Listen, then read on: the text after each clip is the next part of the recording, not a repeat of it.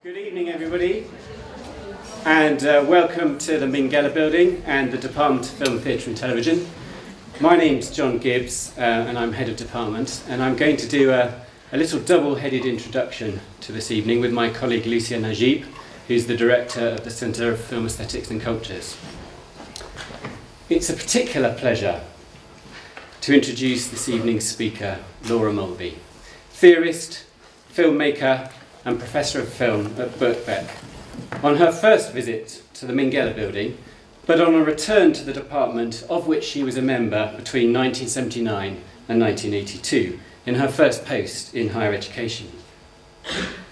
In those days, before the merger which brought Bulmershe College together with the University of Reading, we had a different name, Film and Drama, and a different location at Bulmershe. But I hope Laura will feel strong continuities as well as appreciate changes. The teaching of theatre and film together, the integration of practice with critical, theoretical, and historical approaches, the underpinning emphasis of close reading and performance analysis to everything that we do. Few scholars in any subject have so consistently produced illuminating and transformative interventions in the field. Visual pleasure and narrative cinema and her work on Douglas Sirk and melodrama in the 70s are landmarks in the development of film studies. The 90s saw, among other things, the publication of a monograph on Citizen Kane and fetishism and curiosity. In 2006, Laura published Death 24 Times a Second, a foundational text for the study of the digital in film. And then the edited collection the following year, British Experimental Television. As well as directing and co-directing films across this period, including 23rd of August 2008, which was selected for last year's Berlin Film Festival, Laura also had a key role in inspiring videographic criticism. With one of the first video essays, although that term wasn't, in, wasn't current at the time, presented on the occasion of another of Laura's returns to Reading as keynote speaker in the Style and Meaning Conference in March 2000. Throughout, her work is characterised by the evocative and suggestive turn of phrase, the ability to move between a delicate grasp of material detail of films and wider theoretical ideas, the skills of a critic and the ability to overturn received ideas. It's a compelling combination. But before we get to hear Laura in action, I'm now going to hand over to Lucia, who's going to do the second part of the introduction.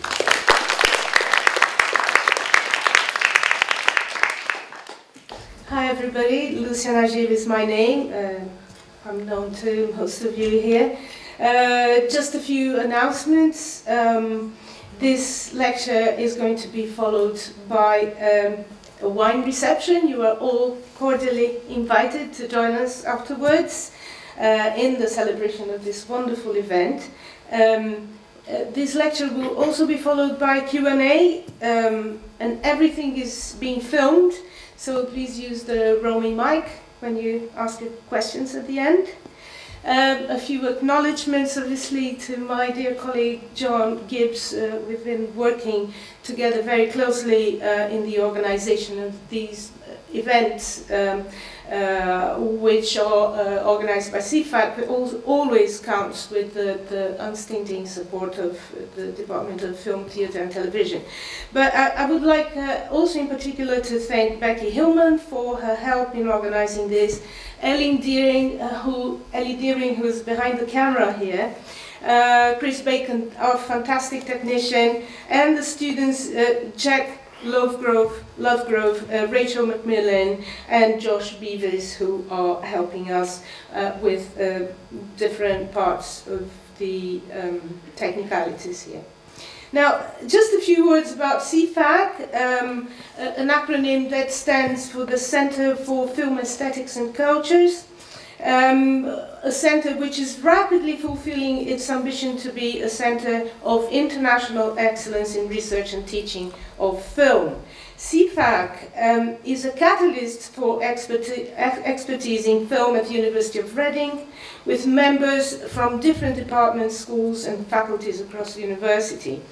Um, uh, Laura Mulvey today is our third uh, public speaker, um, and um, these three public lectures um, were organized um, uh, by CFAC uh, but this time in particular uh, in partnership with the Department of uh, Film, Theatre and Television, given the, the particular significance of our guest speaker to the origins and history of the department.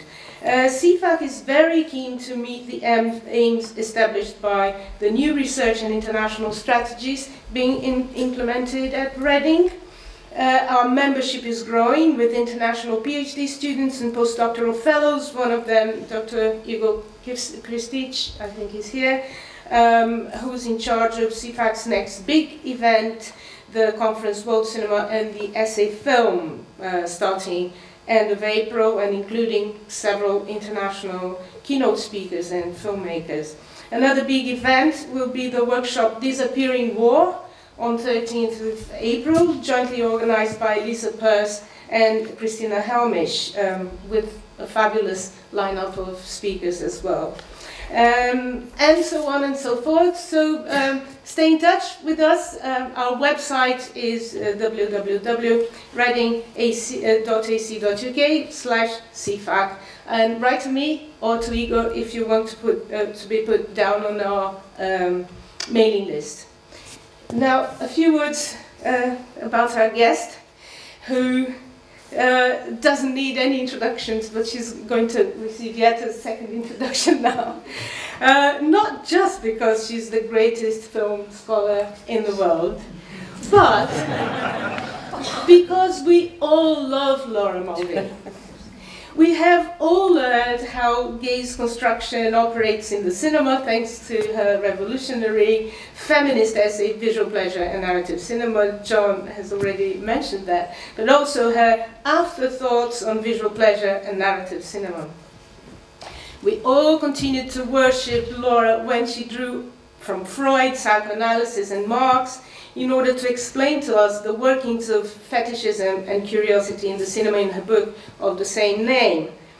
And now we cannot stop quoting the pensive spectator and delayed cinemas developed in Death 24 Times a Second, her pioneering study of the effects of new technologies on the ways we experience film.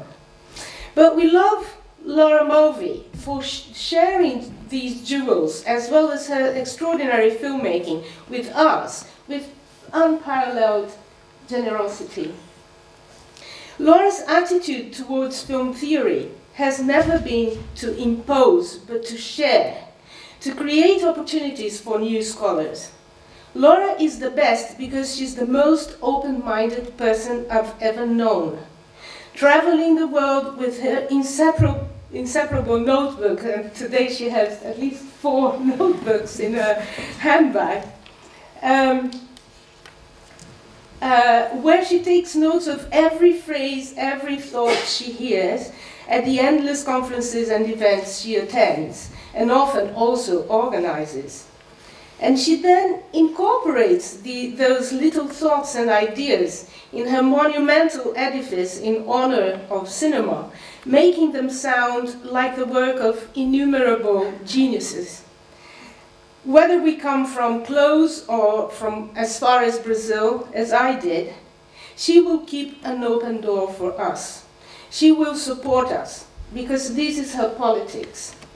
Laura Mulvey's feminism means democracy and solidarity, and she will never relent on this point. We all have a collective debt to Laura, and we cannot thank her enough. Oh, Max Ophuls has been one of Laura's long-standing passions, and today she reserves some new revelations about him. We can't wait to hear that. Thank you so much, Laura.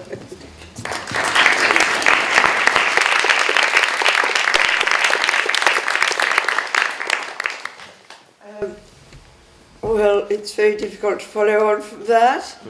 uh, though, what I would like to say to begin uh, my presentation this evening is that uh, John was quite right. It all started for me, not actually physically here, but down the road at Bulmershe College, where um, I got my first uh, regular job in higher education uh, in the wonderful uh, film and theatre department, uh, it, which was extremely uh, exciting moment uh, for me. Um, and I learnt so much from the way that uh, Bulmershe organised its teaching. The principle of co-teaching, so that I worked alongside Doug Pye um, with such vivid memories of the classroom uh, there at, uh, at Bulmershe. And the way that uh, Doug organized things was often not only by pairing uh, lecturers, but also pairing directors. So we would do a Hollywood director alongside a European director, say Hitchcock alongside Renoir, um, Sirk perhaps alongside Visconti.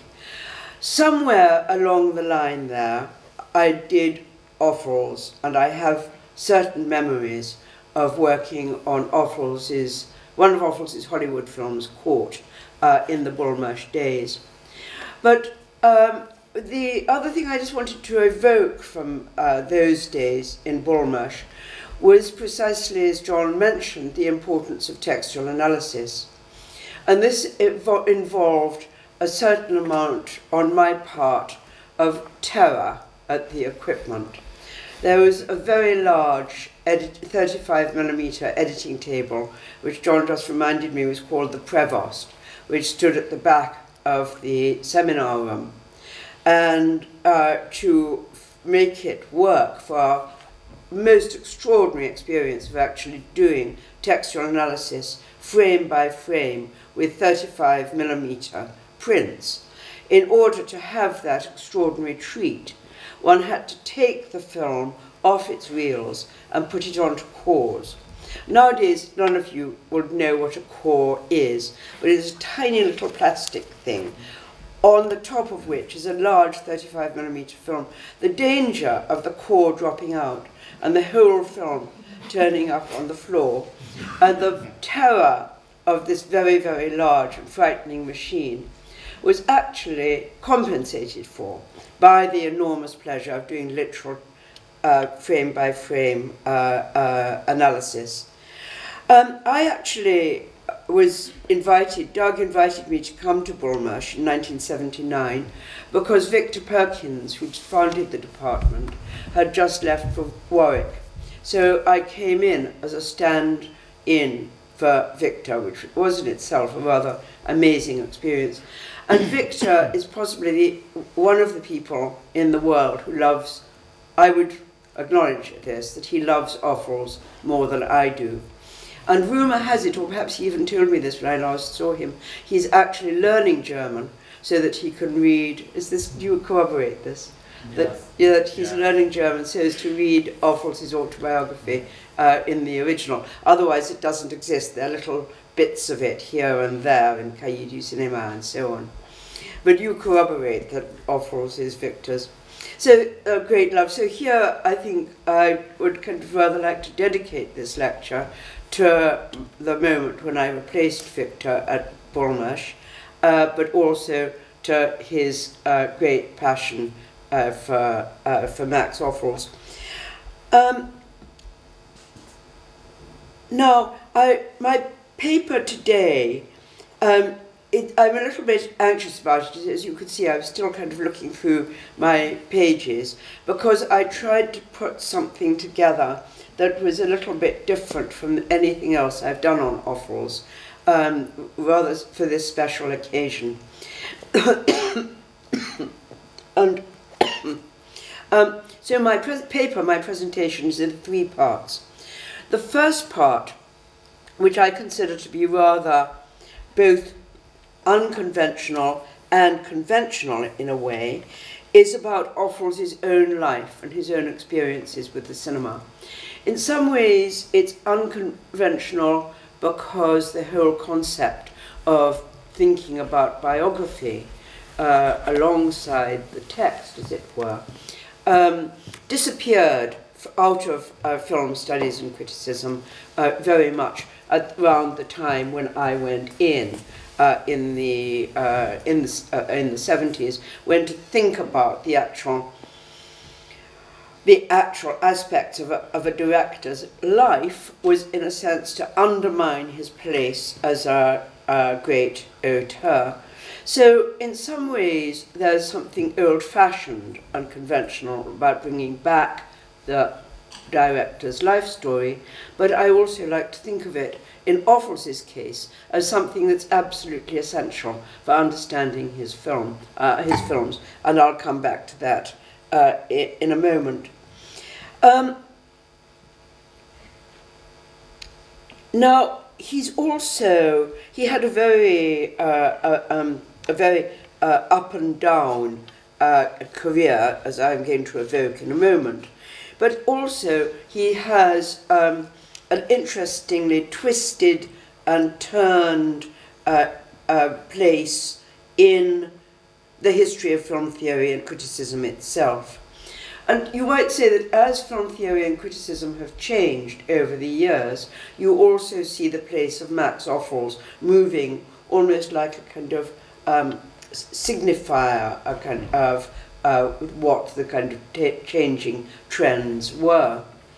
So originally, uh, in the 1950s, uh, he was taken up by the directors, by the critics of the Cahiers du Cinéma, who later became the directors of the Nouvelle Vague, uh, and seen as one of the great stylists of cinema and one of the great auteur directors. Now, and he, they of course championed him in his very difficult later years, which I'll come back to later on. But then, uh, in the, by the time we get to the 70s, uh, with the rise of feminist film theory, um, feminists claimed Max Ophuls for themselves as a director of the woman's film and as a master of uh, melodrama. So these were the stories of romance, feminized narratives that were bound up with sexuality or the family, those films that privileged a female central character and very much addressed to a female audience.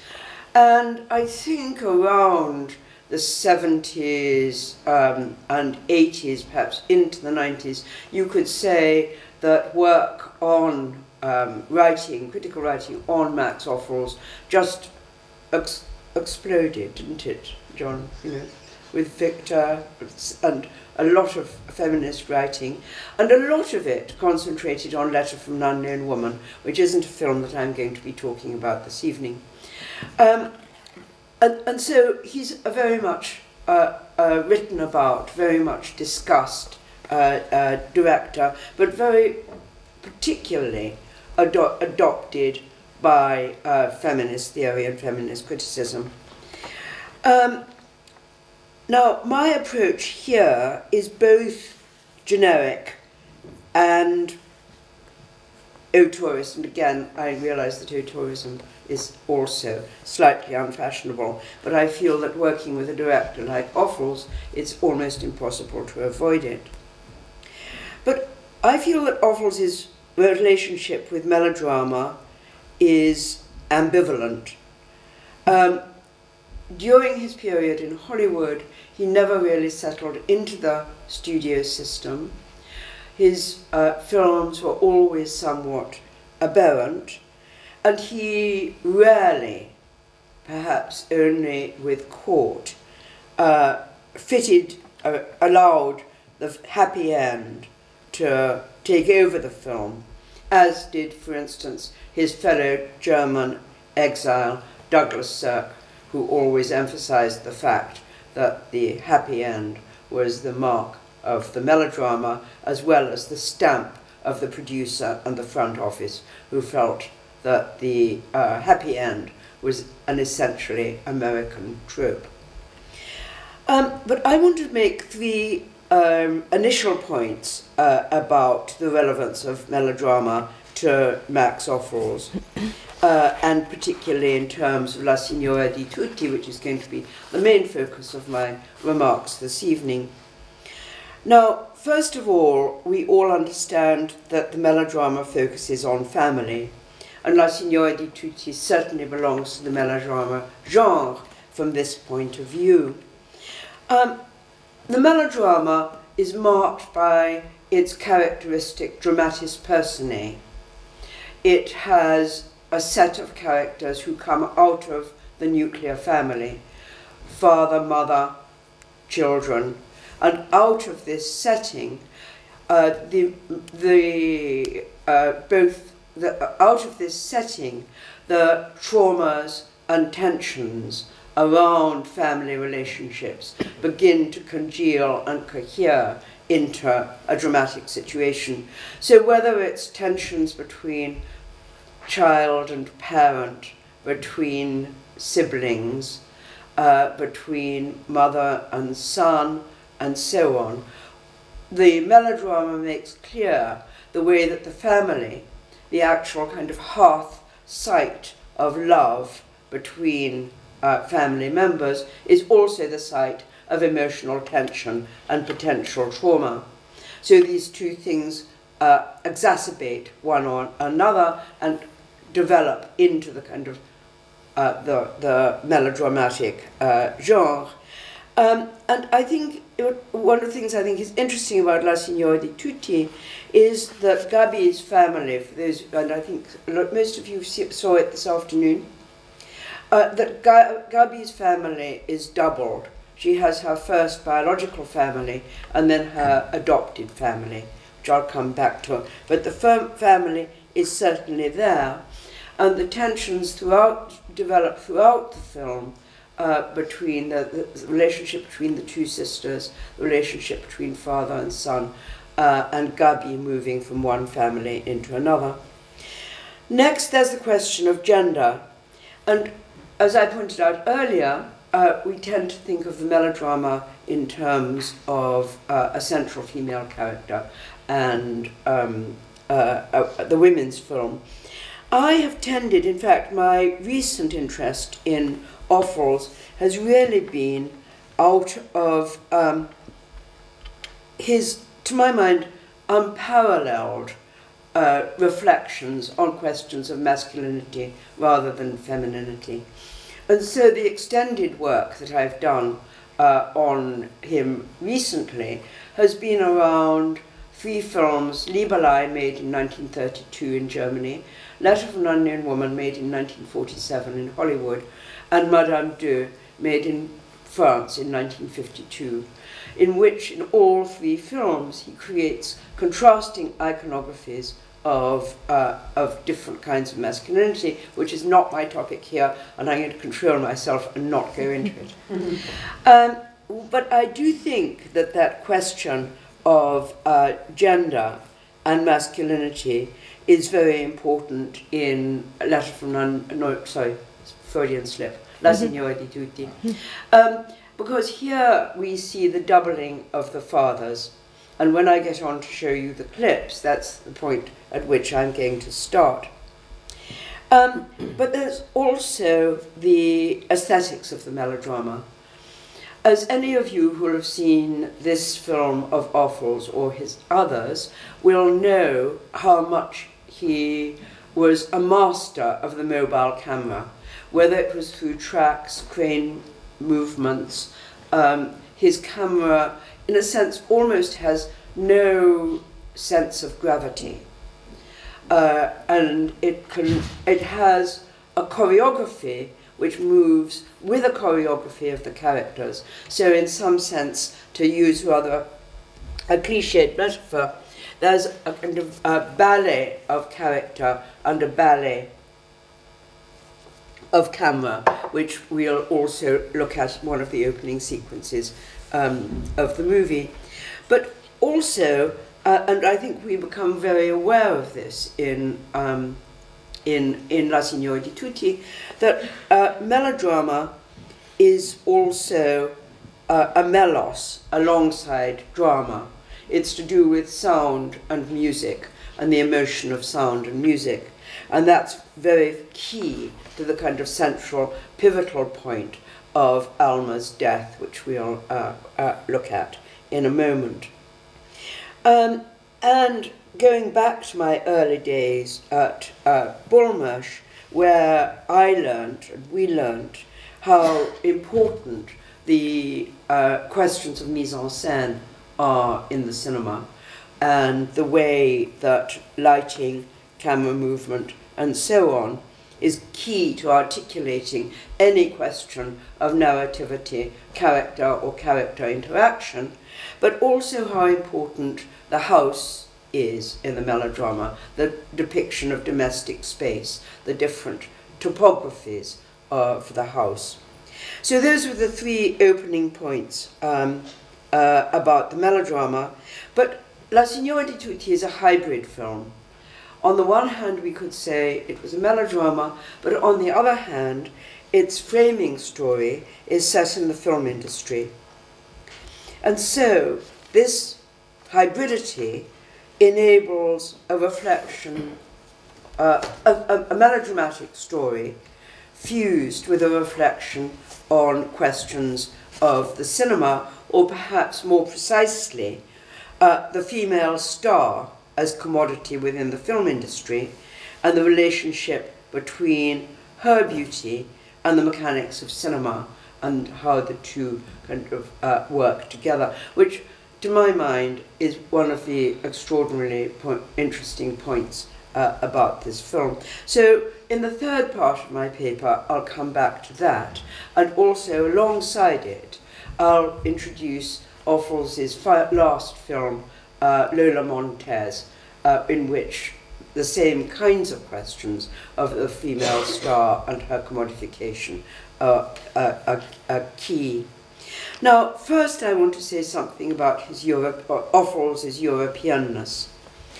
Um, so, I contend that Ophuls in his work and in his cultural outlook transcended national boundaries and was from the beginning and always remained a European.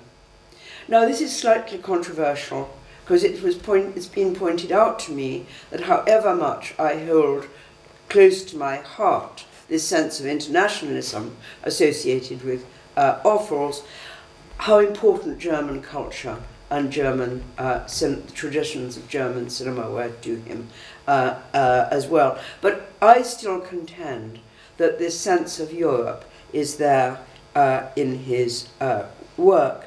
Um, and it's due to his birth, due to his pan-European uh, career in cinema, and also his struggle in Hollywood to preserve his own very European uh, style. But also, I think that the legacy of European modernism and internationalism that marked his generation in the 1920s continued to be a source of reference for him. So I now just want to uh, expand these points a little bit. Um, Ophuls was born Max Oppenheimer in 1902, and the first point of my uh, sense of him as European was that he was born in the Saar, uh, which is a small province of Germany which borders on France and sometimes belonged to France and moved backwards and forwards. So, in a sense, is almost essentially, Igor's nodding, uh, uh, essentially kind of mixed French and, uh, and uh, German.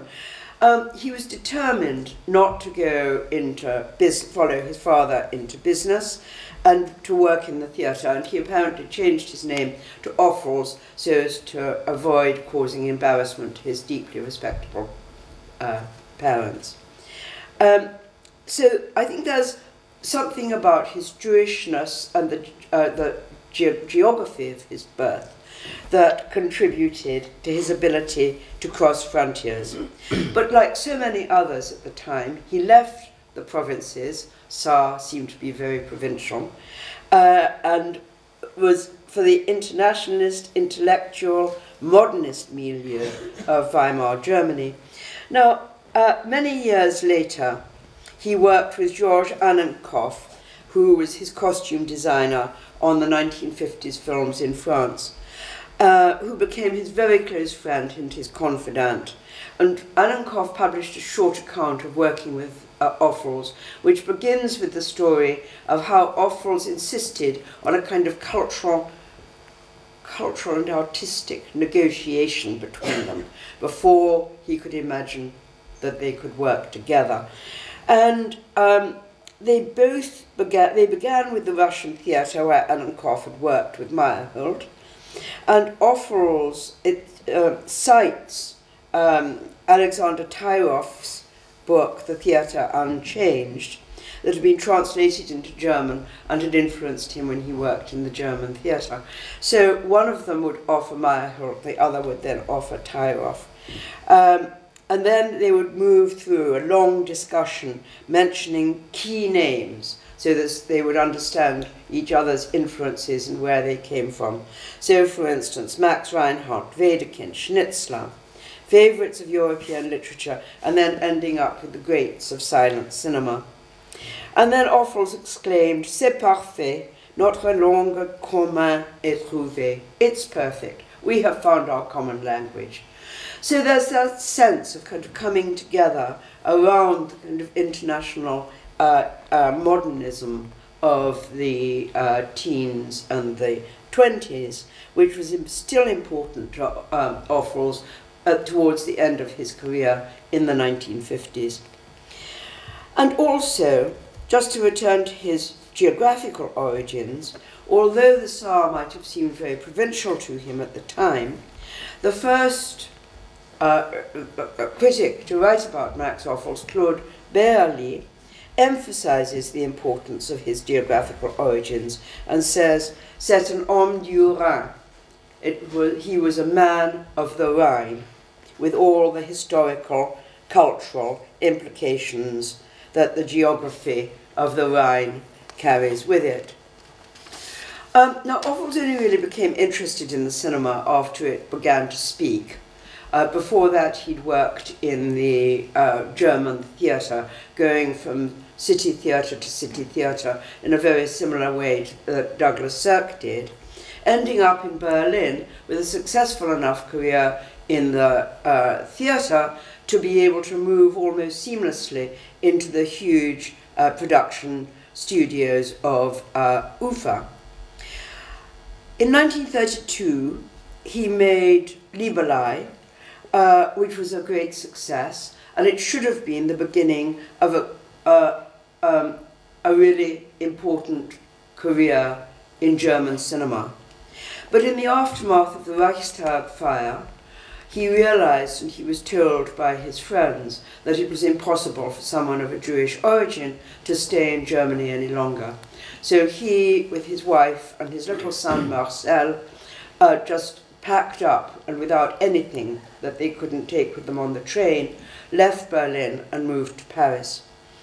Um, eventually he became uh, uh, a French national, but he worked until 19, uh, till the fall of France in 1941 in France, in Holland, and then with this one wonderful exception in Italy with La Signora di Tutti in 1934. But when, uh, uh, after the German invasion and occupation of France, Ophuls had to move again. Um, he'd made broadcasts for the French army, propaganda broadcasts into German, into Germany in German, denouncing Hitler, which had been very popular and made quite a big, um, uh, attracted quite a lot of attention. And so once again, he had to pack up and leave, doing the famous journey with his wife and son across the Pyrenees, through Spain into Lisbon, and getting on the road out of Lisbon and arriving in New York. Now, a lot of stories about this, which I can't actually um, go into now because I want to talk about the film. But I just wanted to say, as a point of interest, that his son, Marcel, recounts his father's commitment to a united Europe how much he loved the idea of Europe, and also how he refused to blame Germany for Hitler. And how he used to argue with the other exiles in, when he was in Hollywood. Marcel says, My father and his friend Fred Kortner were always getting into fights with other Hollywood Jews. Both believed that Goethe and Schiller shouldn't be held responsible for Hitler. Um, by this time, there were too many European exiles looking for too few jobs in uh, Hollywood. And he didn't manage to direct for four years. And when he did, he had a hard time. Um, he insisted, as far as possible, on uh, shooting with his famous fluid style, uh, with complicated setups and his beautiful crane movements. And these were not only resisted on a practical term by many of the um, production team in Hollywood, but particularly the editor that he worked with, Ted Kent, um, who felt that this way of working was Germanic and un-American. This wasn't the way in which American, the American people uh, understood cinema. And I just wanted to have a quick, uh, a quick uh, quotation um, uh, from assistant director Ben Chapman. Max went into some of these tremendous gyration shots that are very typically German. He liked to get on a crane and wander all around the place. He liked to do a hundred foot dolly shots and dolly track shots and walking, uh, waving his hands in the air and that sort of thing. That's just gilding the lily. That's how pictures became so expensive. When you have a director like Max and he has a German attitude and a German way of shooting things well, uh, that's when you get hurt. A good commercial director doesn't do that. Um, but um, I think it's important to remember this because in some ways La Signora di Tutti is almost the kind of crucible out of which that amazing style uh, um, emerged. Um, I just wanted to talk about uh, his end of his life.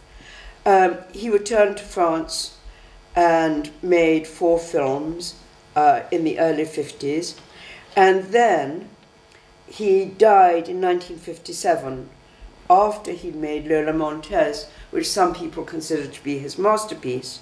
And once again, he was directing back in Germany for the theatre a production of Beaumarchais' The Marriage of Figaro in Hamburg. Um, and I'm going to come back uh, to Lola, so it's important just to put it in place here. As his first colour and widescreen film, he really struggled with Lola Montez. He wanted it to be his masterpiece, and his colleagues at the time felt that he, Ophuls, intuited that this would be his last film. And Jacques Natanson, his uh, screenwriter, said,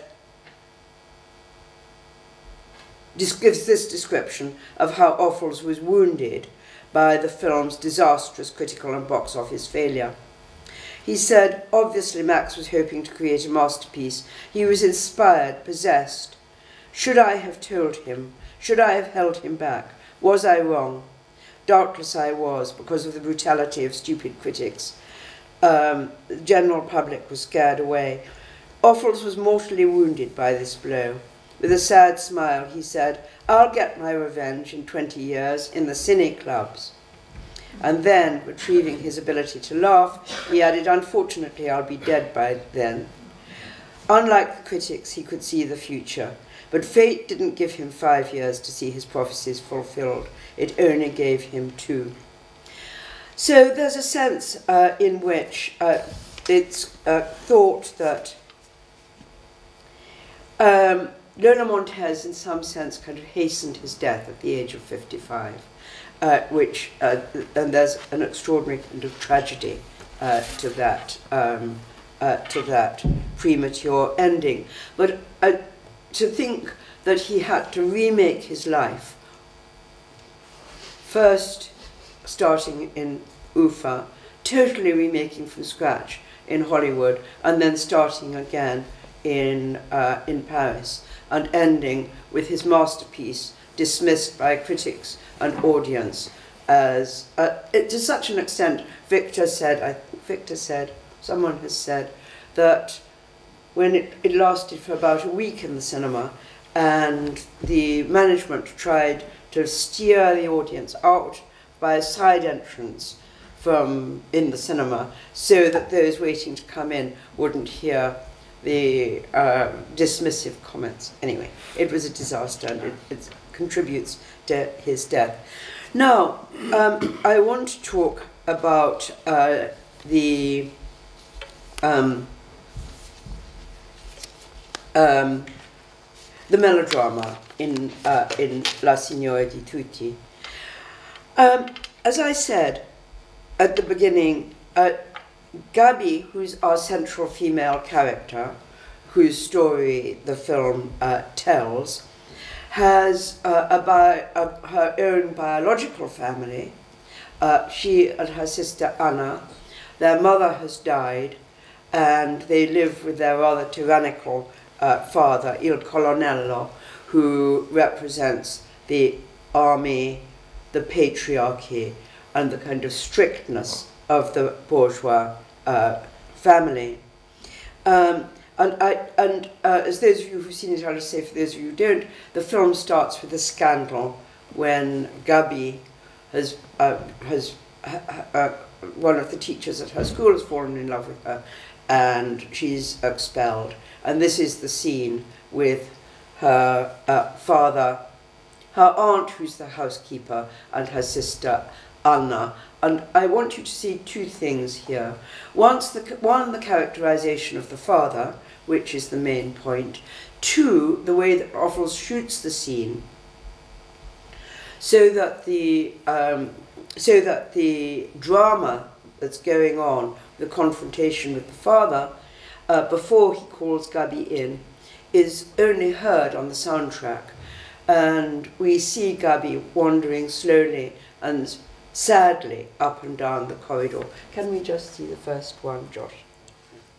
So I think it's very clear there that a particular iconography of the father is being established. Um, and uh, I don't need to go into it because I think the, the, um, the extract makes it very clear.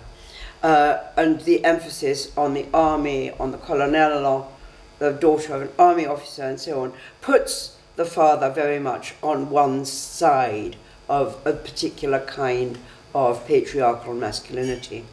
Now, I just want to go straight on uh, and see, because I want to kind of see these two iconographies uh, together. So, if uh, Gabi um, is invited to the house of the Nanni family, who are rich bourgeois, uh, and she's kind of adopted by the um, invalid uh, Alma, who's the mother of Gabi's admirer, Roberto, who's actually gone away to Rome to study. So during this whole period, we've had uh, um, a beautiful adopted mother, adopted daughter relationship between Alma and uh, Gabi. Um, and then this happens. Um, and so, as I see it, we have the, um, the contrasting iconography of the adoptive father, who is the exact opposite of the colonello. He is the easy, seductive, erotic father who obviously is going to fall in love with Gabi and him uh, and her uh, with, with him. So, uh, uh to a certain extent, we have a displaced Oedipal relationship here uh, as the um, as the daughter father relationship uh, becomes an eroticized one out of the complete um, out of the severity of the iconography of the first father. So I just wanted to get that kind of dialogue between uh, the two of them there and to think about the way in which this, uh, this uh, lack of, and as Gabi constantly says, I don't have a mother.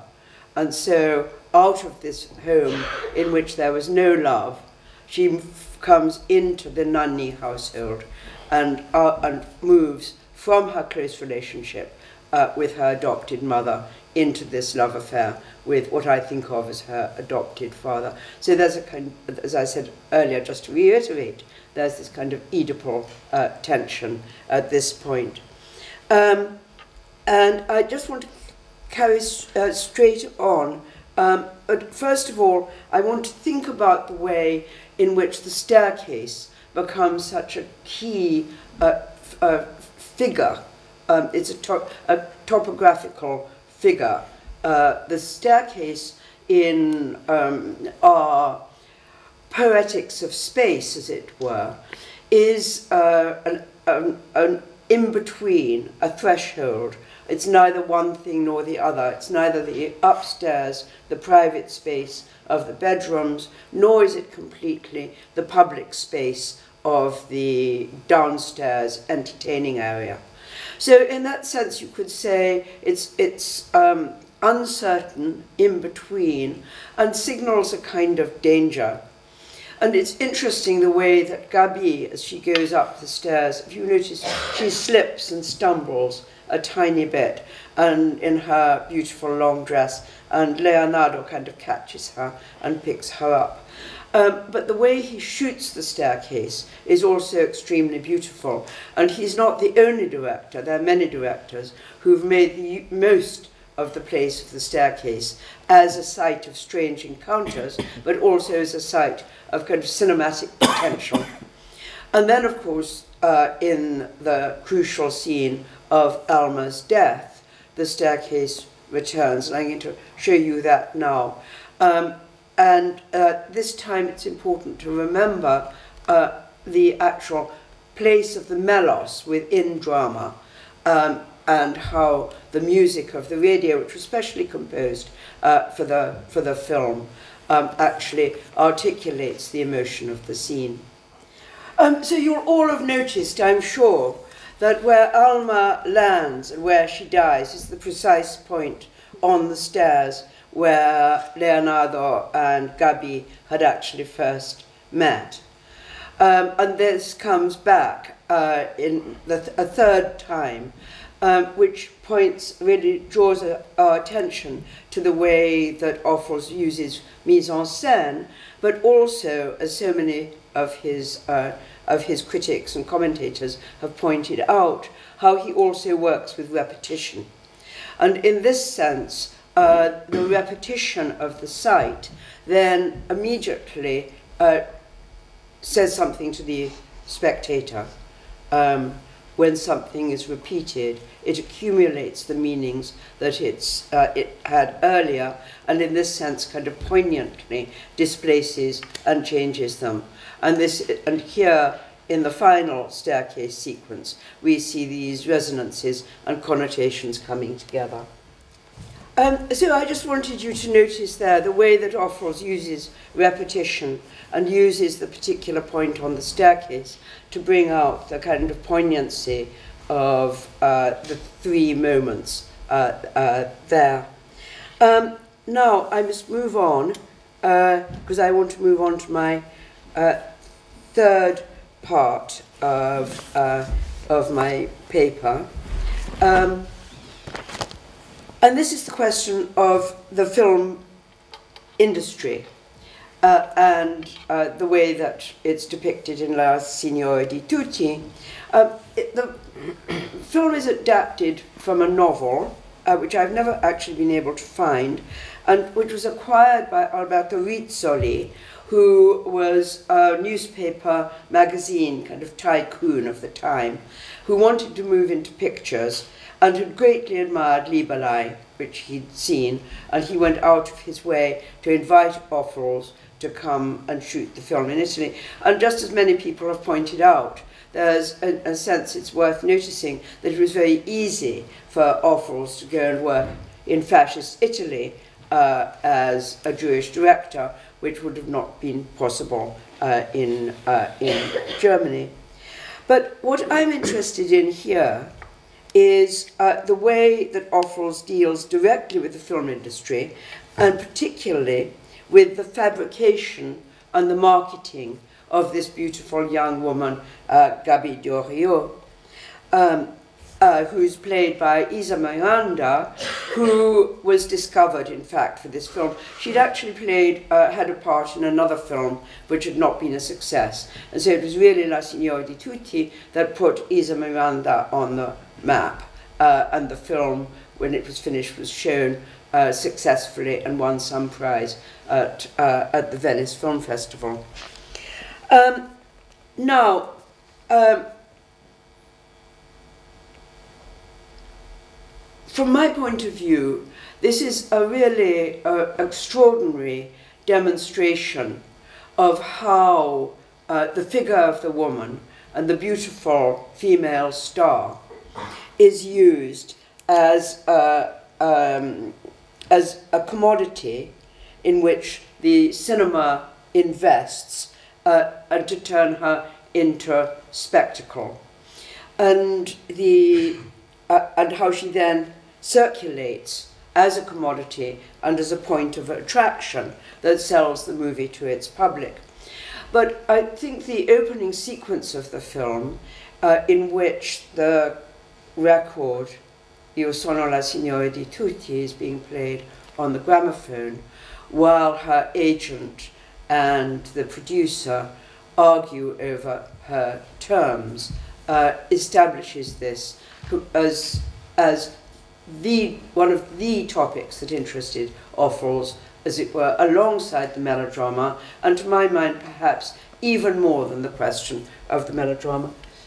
So this is the next sequence, but I just want to say a couple of things before we go uh, on to that. I mean, one of the things I think is so uh, remarkable about that opening scene is the economy, the way that Gabi is signified by her voice and the record, and the way in which uh, the negotiation between the agent and the producer uh, literally reduces her to um, an object of, uh, of bargaining. Um, but it also reminds us of the way in which the figure of the star, the figure of the beautiful woman who's going to be projected onto the screen, is also in some sense a mask which is concealing this the squalid background negotiations on which the cinema actually depends and uh, on which it actually out of which it emerges and on which it depends. And there's a way in which Ophuls and throughout the film we won't see the scenes with the with where all the um, team of the backroom produ production uh, are collected together, in which Ophuls seems to have kind of brought a, a, a whole set of caricatures of the most unsavory and unappealing male figures together, who are going to be then, as it were, concealed and masked by the figure of the beautiful woman, who will actually, as they emphasize all the time, who they'll be marketing and who will actually uh, make the films, uh, mediate between them and the public. So there's a sense right there at the very beginning of what a commodity is, almost in Marxist terms, that behind the beauty of the commodity, which is desired by the public, lies this rather squalid process of commerce and labour and um, uh, and um, everything that, in a sense, has to be concealed, disavowed uh, for the commodity to emerge uh, into the desiring uh, public. So, in that sense, the woman is the pivot between the desire and the commodity, which is underlined by the film's title, Io sono la signora di tutti, um, and by the negotiations between the two uh, between the two men, and then once again, the way in which she, Gabi, the single individual person, represented metonymically by the record and her song, is then reproduced over and over and over again in the process of mechanical reproduction as the posters uh, emerge from the printing machine. Um, and here, again, we, is emphasized the star's relation to mechanical reproduction and to circulation. And Mary Ann Doane, uh, the feminist theorist writing about uh, La Signora di Tutti, has pointed out the woman becomes the exemplary work of art in the age of mechanical reproduction. And this mechanical repetition of her name on the posters then leads on to the repetition of her name over and over again in the studio sequence, which I'll show you now. And I'm showing you the studio sequence partly because of this kind of emphasis on the star and her name, but also it's one of the um, it's one of the sequences where you see Ophuls's camera really exploding uh, into movement and picking up the movement, as I said earlier, the kind of choreography of the people and the extras and the choreography of the camera.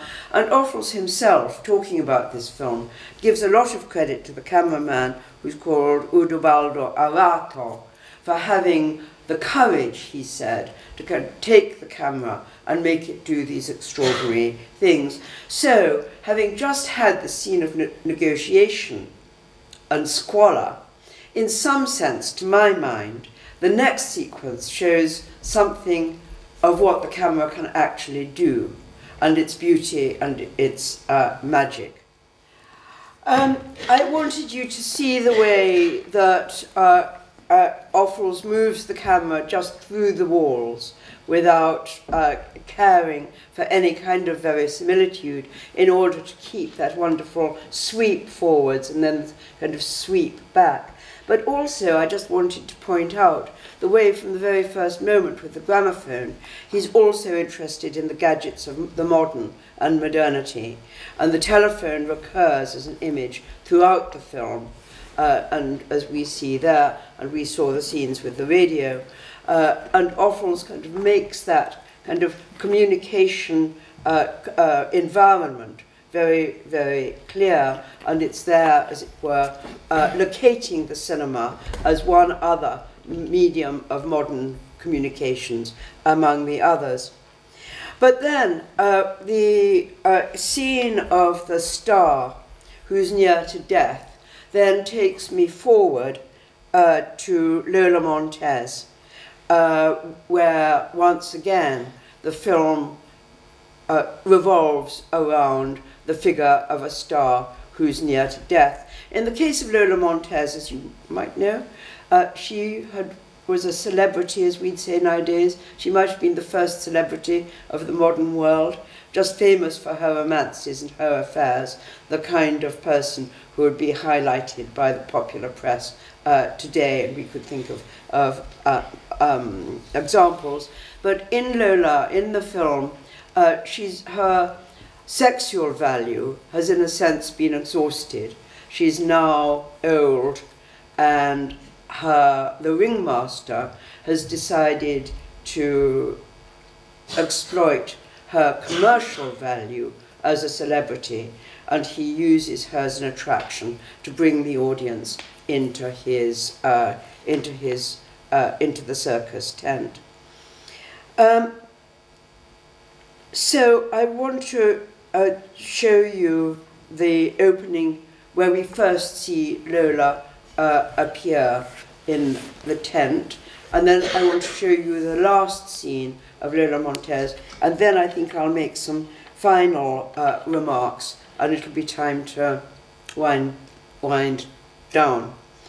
Um, so uh, just to introduce the sequence, um, I told you already that uh, Lola Montez was the first film that Ophuls made in widescreen and colour, um, which were conditions uh, on the part of the key production company uh, when they made the film. So that came, as it were, without question. And also without question was uh, the, the figure of Martine Carol, who was a top movie star in France at the time, in the 50s, but was famous mainly for her cleavage rather than for her acting abilities. Um, now, I want to say a word about performance here. Uh, both Martine Carol and Isa Miranda have been criticized for their very wooden performances, uh, for the fact that wooden performances, let's just put it like, uh, uh, uh like that. Um, but I think there's something, uh, a, a, way in which Ophuls uses these, perform these qualities and this kind of immobile appearance in both movies to say something about the woman as commodity and the woman as object of uh, exchange. And I think when we see uh, Martine Carol first carried into the uh, tent in a moment in, uh, in Lola, um, you will see the way that Ophuls has used her immobility of both expression and body to create what I think of as a rhetorical figure uh, that represents uh, something of which life, out of which life is being drained. Um, now, when she's carried on, the image of the woman dressed in gold on being carried on this kind of um, thing. Um, um, she reminds me rather of life-sized uh, plaster or wooden statues of the Virgin, which might be carried through the streets of southern Europe on a, uh, a feast day. And so just notice the way in which she's dressed, her immobility, and then how Ophuls cuts to this rather extraordinary close-up. And then we'll go straight on uh, to the end of the film. And at the end of the film, you have to understand that throughout, the ringmaster has been promising the men in the audience that for one dollar, they'll be able to kiss the hand of this notorious woman. So, although uh, La Signora di Tutti ends with Gabi dying, uh, they can't resuscitate her after her suicide. Uh, Lola Montez uh, ends with the with Lola, in a sense, near death, and with this death-defying plunge. But in actual fact, it ends with this dramatic enactment of commodification, as though the film was asserting this actual abstract theme at the end, as the men in the audience come forward to pay one dollar to kiss her hand as she's displayed like an animal in the wooden cage, and which seemingly shows the endless stream of undifferentiated male spectators, uh, the mass audience for which this eroticized entertainment will never stop. Um, and I feel there's an, some kind of balance between, or, or, or, symmetry between the opening scene of, of La Signora di Tutti, made all those many, many years earlier in Italy in 1934, with the agent and the producer bargaining over uh, over Gabi's record, and this scene at the end, made in France in 1955, coming back to the whole question of the commodification of the woman in, uh, in a spectacle. Um, so both Lola Montez and La Signora di Tutti deal with these relations between the entertainment industry and the financial structures on which it depends, uh, which is personified in Lola by the figure of the ringmaster, and in La Signora di Tutti by the uh, agent of the producer, and so on. Um, now, uh, there's a, a,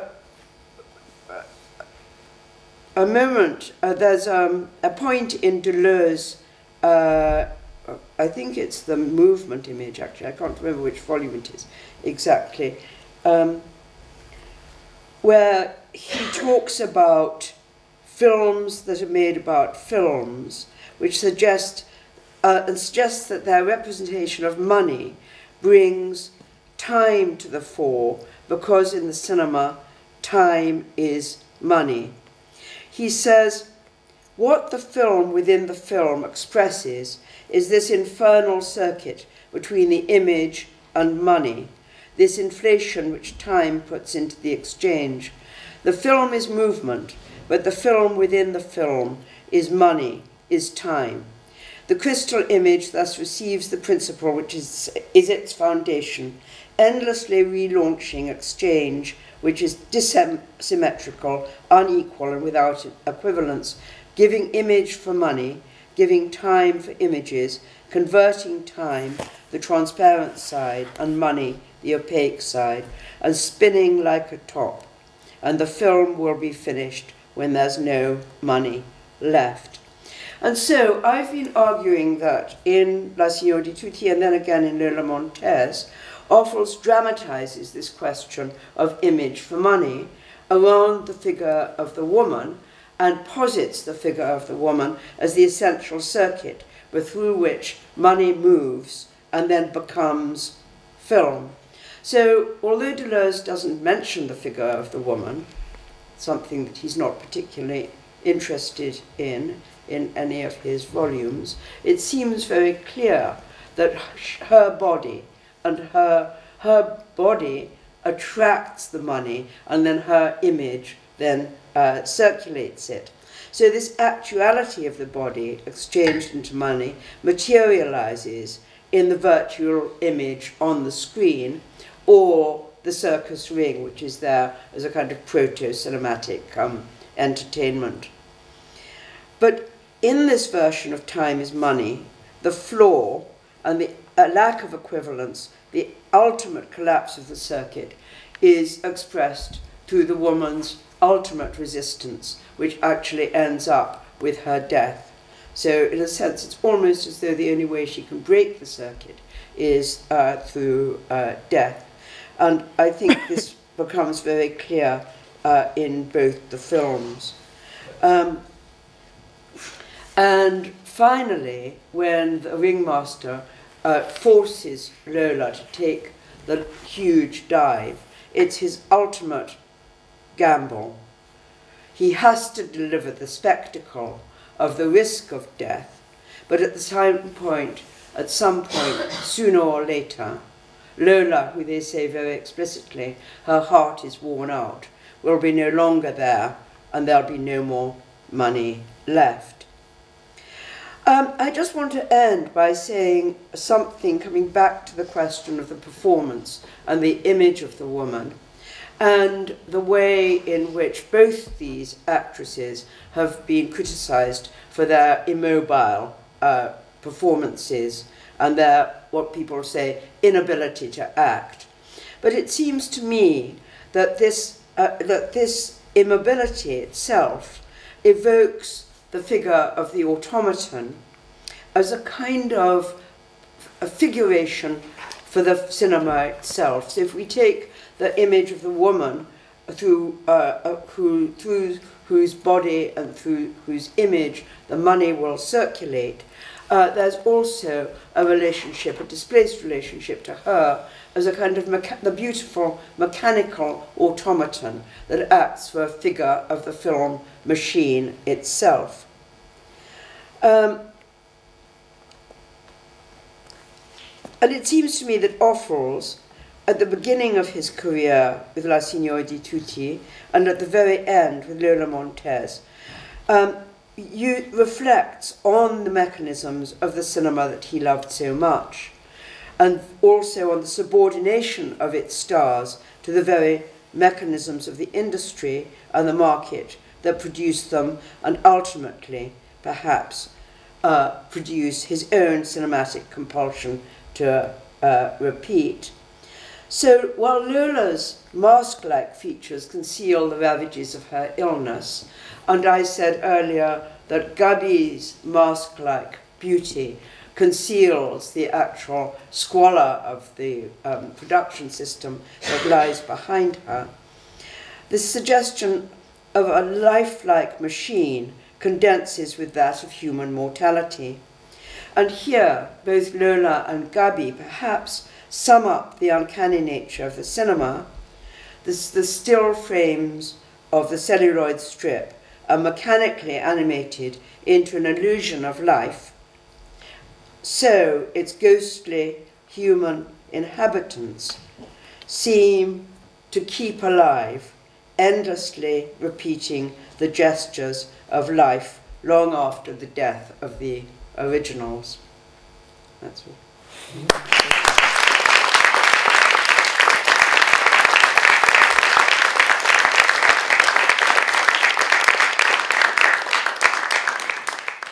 Thank you, Professor Mulvey. Um, it falls to me on the behalf of this public audience, colleagues, friends, to thank you for what has been not only a riveting lecture, but one which has been exquisitely articulated, beautifully constructed.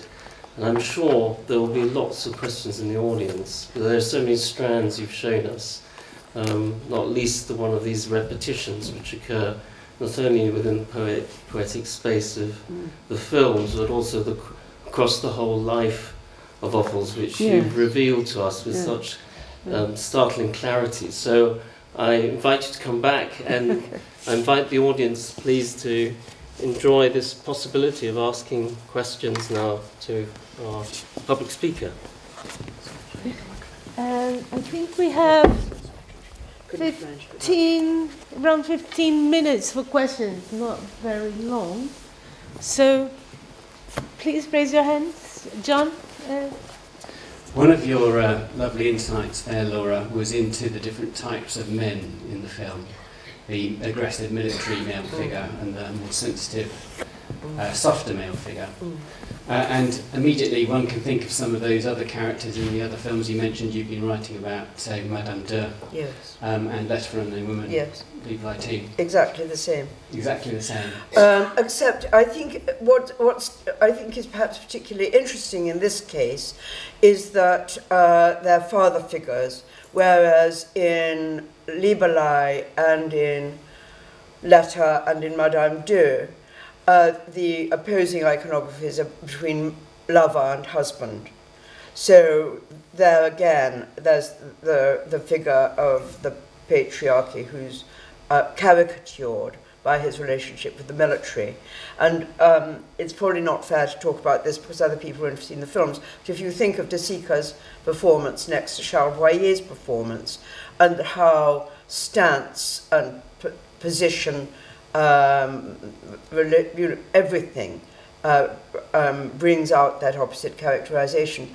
So I was interested in the fact that in La di Tutti, he displaces these, this iconography onto the two father figures, which makes it, in a sense, almost more, it makes it Oedipal in a way that it isn't quite so in the other films. But I also think that that contrast is there in Ustinov, in The Ringmaster, who's at one of the same time is the uh, cruel ringmaster, but he's also, but he's also um, completely infatuated with Lola, and at the end says, "You know, if you died, I couldn't live without you."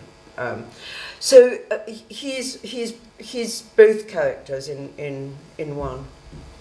The difference there is that in Letter on a Woman and Madame de, there's, well, there's a gap, isn't there, between the actor and the character Leonardo in this film and the rather more charming uh, embodiments of that figure played by De Sica and Louis Jourdan.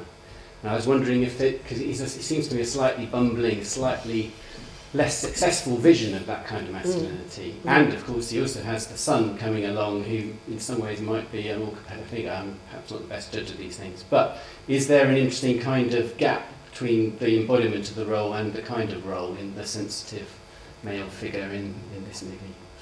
Um, I should have mentioned Roberto because uh, after um, Alma's death, there's a very poignant scene when Roberto says to his father, You know, I've always wanted to marry Gabi, and this is the moment when I'm going to ask her. And um, Leonardo just says, No, no, no. And, and, and that's it. And then, of course, Roberto comes back at the end. But I've seen that more in terms of kind of Roberto, Leonardo, I see more in terms of the conventions of the melodrama genre, uh, of uh, the way in which family relations, uh, um, these family relations actually uh, entwined, as it were, throughout the film, and that it it turns out at the very end that Roberto has married Gabi's sister Anna, and it's that, in a sense, that causes her suicide. Um, so I think the, the Leonardo Colonnello um, stands, but Roberto, it seems to me, to belong more to the traditional melodrama. Um, I mean, Leonardo, again, is a kind of co complex figure as a performer. Um, now I can't remember. I've forgotten the name of the actor. I'm so sorry. I know it perfectly well. Just after giving a lecture, sometimes one can blank. Um, but um, he was a theatre actor, and uh, the scene which I didn't show you because we were running out of time is one of the most beautiful sequences uh, when he's completely down and out uh, and goes into the foyer of the cinema, and there's a 360 degree pan as Leonardo goes around looking at all the pictures of Gabi, and the song is on the soundtrack. And um, um, it's slightly overdone, it's slightly caricatured, but there's a way in which his cigarette, he's still got his cigarette hanging out of the corner of his mouth, but it's an amazing way in which, when he first appears, the cigarette is a sign of his kind of energy and his power and um, his masculinity, as it were, but at the end it's a sign of his down and outness, that he's now just a tramp who's just come out of prison having embezzled all this money and spent it on his, on his wife. So I think, uh, I, I think that transition uh, in the character of Leonardo is something very particular to this film, which I think is, is wonderful. But again, you know, the performance might seem a bit kitsch nowadays. I wasn't looking at the performance, merely just that these scenes are less to embody these characters. Yeah. Uh, I mean, he's not Charles Boyer by any means, what, uh, or, or Vittorio De Sica by any means whatsoever. Hello, I was um, fascinated by how many of the things you spoke about can be directly applied to Liebelei, uh, in particular yeah. the point about the, the woman as commodity and mm. an object of exchange, and uh, but also relating to what you said about drama, melodrama, and um, music. About about what? Um, yeah, uh, Ophuls interest in drama in, and, melodrama, and, and also the yes. use of melos, music. Yeah. Um, because of course the Schnitzler play there is uh, critiquing of the sweet girl, the Süße yes. phenomenon of the um, yeah. upper class, you know, yes. uh, men being allowed to have affairs with the um, lower class woman, and then gets away scot free if um, if she falls pregnant or anything happens to her. But also interesting how the um, in Liebelei, um, Schnitzler moves away from the stricter naturalism and, and the, the very strict social critiquing in, in the Schnitzler mm. play. And in the film, he opens up the, the possibility, even though it's ultimately impossible because they're constrained by, mm. by their conditions, but the possibility of a lasting union between um, Fritz and Christel, which is to do with Fritz's masculinity. And mm. there's all the anecdotes about Ophuls, how Ophuls cast the actor because he had such a softly spoken voice, yeah. even though he was Northern yeah. German, so he didn't yeah. expect him to be so softly spoken and unclassed him. Mm. But I think um, I wanted to draw your attention to um, that, that shift, if you like, towards love, which in the Schnitzler play, at the moment where Fritz comes to visit Christel to tell her that he's going to take leave for mm. a while. They won't mm. be seeing each other for a while. Mm. And he notices in her room a painting. Mm. And she says, Oh, it's a girl. She's looking out of the window and it's winter. Mm. How awful I mean, yeah, he may or may not, but taking that motif of the winter and then translates it to the, sleigh, to the sleigh ride where. Yeah they have that moment of, yeah. of a loving union, which is, of course, the scene that is then repeated, as you've also mentioned in the other films, right at the end of the film after Fritz is killed. Yeah. In the duels so forth, there's like a wonderful convergence yeah. in early Ophuls of all the things that you've explored uh, in La Signora di Tutti. Yes, I think they come back almost more in. I mean, they come back in an Unnamed Woman. I mean, Liebelei is such a is such a strange case because um, it seems to me, although Ophuls took those motifs that you're describing, um, he also that because the time was so different from Schnitzler's time, um, he changes them, to my mind, politically. Uh, I mean, there's always the question of Ophuls' ambivalent relationship to love, because in some ways, uh, um, um, in some ways, I think he has an almost feminist sense of love being destructive to women. Um, I mean, the women who die of love um, in, well, in from an Unknown Woman and Madame de, and uh, Christine a bit there. But I, I mean, again, this is a slightly different discussion, because it seems to me that making Liebelei in uh, the early 30s in Germany, he was more interested in trying to make a message of pacifism than a message about trans-class relationships. So Christine is turned more into a, a, prom, a, rather than just being a caricature of the Süsse Mädels' um, sentimentality and her romantic belief in her uh, in her love.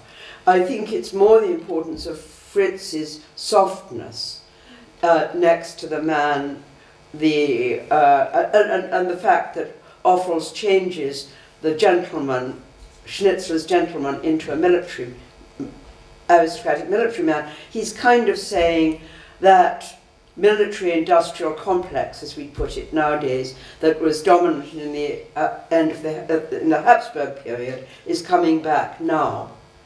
And so I think the anti-duel pacifism scenes uh, changed the story round uh, a bit and Ophuls is actually kind of indicating something of the coming threat of, uh, of Nazism. Does that make any sense? Mm. Yeah. Because the changes that he made were so radical. Then, of course, he does it again with Letter from an Unknown Woman and again with Madame de. Interesting again the casting of Gustav In the casting of Gustav Gründgens as, as the military yes. and of course he's the the, the head of the, the, the criminals ring in M. Oh, so yes, of course, yes. That's true. But he's amazing. I mean, he, he actually manages, I mean, if we're talking about slightly caricatured performances, um, what's he called? Gustav Gründgens. Yeah. Yes. He, he kind of epitomizes, I mean, you, if you put him next to the Colonnello in La Signora di Tutti, you see a complete continuity there of the military, the obsessive patriarchal military man. I, I would like to ask a question. Laura, um, I was really impressed with the the recurrence of uh, the music as um, uh, um, uh, the characters looking for the motivation of the music within the diegesis and not finding, mm. uh, looking behind the fireplace. Yes, to, yes. Yeah. Um, and uh, obviously, in those days, they were doing all sorts of experiments with uh, sound being a big novelty in the cinema. That's Fritz. Lang, as uh, she was saying, was doing all sorts of things in M and so on. But in this film, it seems that the the extra diegetic music is focused uh, on as if it was a maddening thing, something that you should get rid of, Yeah. um, something that drives you mad. And unless the music is motivated within within the story, uh, it doesn't make sense and should should be simply abolished. That's the, the because it's so terrible. Even when the two guys at the beginning of the film are talking over the sound of the, the record, you just say, Can you please stop that music? It's something that is so intrusive Yeah. and, and uh, so superfluous, so to say. It doesn't have any point to be there. Even when they go back and put the record again there, you just say, No, no, please stop that. So I just want to, if, Am I reading too well, much? I, I, I don't know. I, I think you're so. I mean, I, I'd never thought of that about the the fireplace and the haunted music and the haunting. But I mean, um, I mean, one of the things about La Signora di Tutti is that it is so well Liebelei as well. I mean, the experiments with sound uh, are extraordinary, um, and and using a mixture between uh, as Liebelei starts in the opera so there's a lot of play with, with music and sound. And then there's the telephone again, um, uh, and, and so on. But, I, but to think of that scene as a rejection of extra-diegetic music is something that never occurred to me. I think that's very witty. It might well be that, that where is this music coming from? It's just a haunting uh, um, of course, Hitchcock has done a lot of that mm. in Vertigo. Where is that music? And then they discover that you know it's playing there in that scene with James Stewart uh, trying to go up the step ladder and Oh yeah. Yeah. He also finds yeah. the, the the the music originating. Yeah, the source the source of the music, music, that we yeah. had thought it was extra diegetic. Diegetic, yes. And yes. in the end we find the source there. So, right. Yes. No, I think that's a wonderful idea. That's never occurred to me before. Mm. But I mean I mean, there's so much in a way um, that's unknown, and I don't know whether Victor is working on this or not. But I mean, if someone could do some proper research into Ophuls's experience in the theatre for all those years um, when he worked, you know, about four or five different German uh, uh, theatres. It would be very interesting to think about his, his rela the relationship between mise en scène, sound, music, and so on. And a lot of his, seems to me that it must be the case that a lot of his uh, uh, cinema, although transformed for the camera, must also have its roots aesthetically in some ways in his experience with theatre. Same with Douglas Sirk, I suppose. You know, they both had very um, parallel careers in a way. But I'd love to, to um, know more about those 19, the, his, because he must have worked in the theatre from the kind of early 20s right through to 1932. Um, um, you mentioned camera movement as a uh, Germanic style. Um, I found it, find the camera movement fascinating because um, you were describing how it goes through walls, creating the artificiality mm. of the mm. space, mm. Um, whereas other directors are using camera movement to, to create a kind of reality of space. Mm. Um, can you talk a bit more about your feelings about why he's moving the camera so much, what, what Ophuls is trying to achieve in it? Um, I'm also quite interested in, you were just talking about his theatrical background. Mm. Um, I'm, I kind of find it very interesting when you have a, a theatre director moving yes. into cinema who wants to break space. Um, I mean, to tell the truth, I don't know that we can really be able to understand um, about his use of camera until we know more about his theatre. Um, he does have some beautiful camera in Liebelei, but it's really in La Signora di Tutti that it kind of explodes, and he puts it down. Uh, he mentions the cinematographer Ubaldo Arata, who I mentioned earlier, uh, as someone who had such extraordinary courage to move the camera. But I mean, there are moments, for instance, like when Gabi is just walking down the corridor while her father is shouting and stops and caresses the dog and then picks up the tray again. Um, there's something very kind of cinematic about the, the way that he can take the time to pause uh, and, and just allow the cinematic image to evolve.